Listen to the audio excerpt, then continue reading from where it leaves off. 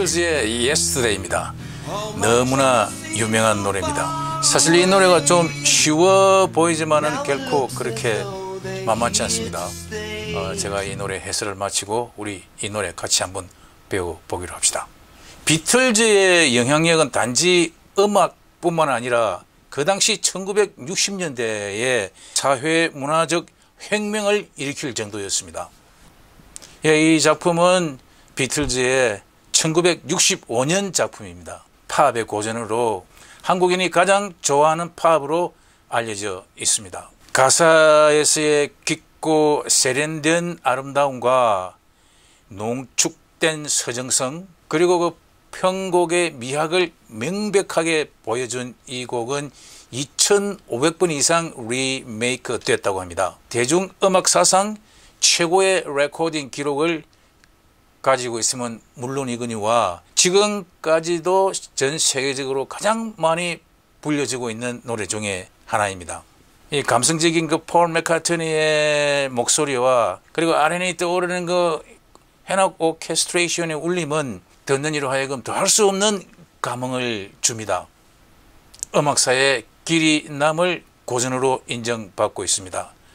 이 분위기는 롤링스톤즈의 여러 노래 중에서 가장 차분한 노래 As Tears Go By라는 부분에서도 어, 관현악과도 비슷한 분위기를 자아냅니다. 이 곡으로 비틀즈는 젊은 혈기로 뭉친 로큰롤 밴드 또는 유행을 창조하는 아이돌 스타에서 한층 성숙하고 깊이 있는 내면을 표출해내는 아티스트의 길로 접어듭니다. 가사 제목에서 알 수 있듯이 떠나버린 사랑을 아쉬워하며 지난 날을 그리워하고 있는 내용입니다. 참 사랑이란 것이 그저 남들이 하는 것처럼 쉬운 것인 줄 알았는데 그렇지 않더라는 것입니다. 그래요. 어느 나라를 막론하고 젊은이들의 사랑 이야기는 많이 있습니다. 수많은 가수가 시인들이 이 젊은이들의 사랑 이별의 아픔을 노래했습니다. 원래 이 사랑 싸움이라는 게 큰것 가지고 하는 게 아니고 아주 사소한 것. 남자는 그냥 아무렇지도 않은 듯이 대수롭지 않게 행동했는데 여자로서는 크게 받아들일 수밖에 없는 사실은 그게 맞는 물론 남자의 잘못입니다. 그런 것 때문에 일어나는 사랑 싸움이 많이 있습니다. 그리고 이런 사소한 감정의 대립 때문에 전 세계의 연인들이 아픔을 겪어야 하는 모양입니다. 어, 상대방의 입장에서 한 번씩 자신을 바꿔 넣어보는 것도 좋은 방법일 듯도 합니다.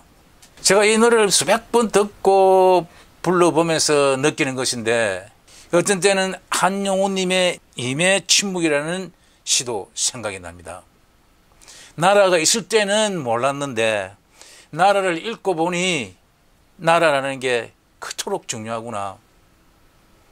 우리 박경리 선생님의 토지라는 그 책 제목이 왜 토지인가? 그 소설의 주인공들이 왕에 충성하기 위해서 조국에 충성하기 위해서라기보다는 이 산천 조상 대대로 내려왔던 그 자연 산천을 지키기 위한 토지입니다. 우리가 그 아름다운 토지를 뺏기고 나니까 그토록 그 토지가 중요했다는 사실을 알았던 것 같습니다. 뭔가 있을 때는 몰랐는데 없어져 보니 너무나 허전한 마음을 노래하고 있습니다. 수많은 상황에서 우리는 비틀즈가 노래하는 어제에 대한 그리움, 후회를 느낄 수가 있습니다. 자, 가사 내용 중에서 Love was such an easy game to play 라는 말이 있습니다. Yesterday, love was such an easy game to play. 어제만 해도 사랑이란 것은 그렇게 쉬운 놀이인 줄만 알았는데 마음만 먹으면 손에 질 수도 있고 나을 수도 있고 헤어졌다가 또 다시 만날 수 있는 그런 사랑이 마치 노는 것 같다고 생각했었는데 안 그렇더라 그겁니다. 우리 가요에도 그런 부분이 있습니다. 좀 상황은 반대되는 상황입니다만은 그 제가 기억나는 노래가 사랑은 장난이 아니랍니다라는 노래가 있었습니다.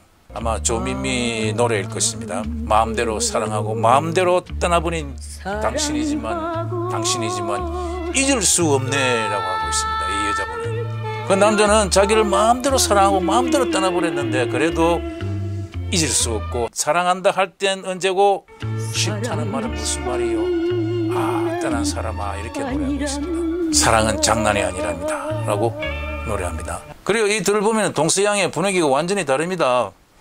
영국 여자는 과감히 떠나버렸고 또 우리의 분위기는 그렇지 않습니다. 뭔가 그렇게 아쉬움이 많아서 자기 마음대로 한 사람을 그리워하는지 모르겠습니다. 실제로 지구상에 어디 그런 여자분이 있을지는 모르겠습니다. 더 이상. 그리고 김부자 씨가 부른 카츄사의 노래도 비슷한 마음을 노래하고 있습니다. 마음대로 사랑하고 마음대로 떠나버린 첫사랑 도련님과 정든 밤을 못 잊어 얼어붙은 마음속에 모닥불을 피워놓고 오실 날을 기다리는 가엾어라 가추샤 이렇게 이야기하고 있습니다. 영국 분위기와는 완전히 다릅니다. 예, 이렇게 어제에 대한 회한을 담고 있는 노래도 있지만은 영화 바람과 함께 사라지다에서는 과거는 과거이고 우리에게는 또 다른 내일이 있다라고 하는 마지막 장면이 떠오릅니다. 물론 이 노래 하나하고 미국의 비극인 남북 전쟁을 비교하는 것은 좀 격에 안 맞을 수도 있지만은 어제 오늘 내일을 두고 볼 때는 의미가 있다고 봅니다. 예스데이의 이 청년도 언제까지나 과거에만 묻혀 지낼 수는 없는 일입니다. 요즘처럼 스토커가 되어서도 안 되는 일이고 그 영화에서 주인공의 스칼렛 오하라 비비안 리가 1년을 했습니다마는 내일은 또 다른 내일이 있다. After all, tomorrow is another day. After all, tomorrow is another day. 라는 이것을 우리 한국에서는 내일은 내일의 태양이 뜬다라고 번역을 했는데 좋은 번역이라고 생각합니다. 내일의 하루하루가 오늘보다 낫도록 행동하는 것이 우리 인생 아닌지 모르겠습니다. 그래요. 새로운 하루에는 새로운 마음을 담아야 합니다. 자, 또 뭐 결론적으로 젊은이들에게 제가 드리는 부탁입니다. 혹시 사랑에 실패해서 마음 아픈 젊은이들이 이 영상을 보신다면은 다시 어깨 펴고 여러분 속에 숨어 있는 여러분다운 정체성을 찾고 떨쳐버릴 것은 과감하게 떨쳐버리고 다시 열정적으로 미래를 위해서 달려가시기 바랍니다. 조금씩 받고 행동하면 미래는 훨씬 더 밝을 수 있습니다. 그러다 보면 떠났던 그녀가 다시 찾아올 수도 있습니다. 어제는 바꿀 수 없지만은 흘러가 버렸습니다. 강물이 흘러가 버린 것처럼 내일은 얼마든지 바꿀 수 있습니다. 저 같은 나이에서도 저는 항상 그렇게 생각합니다.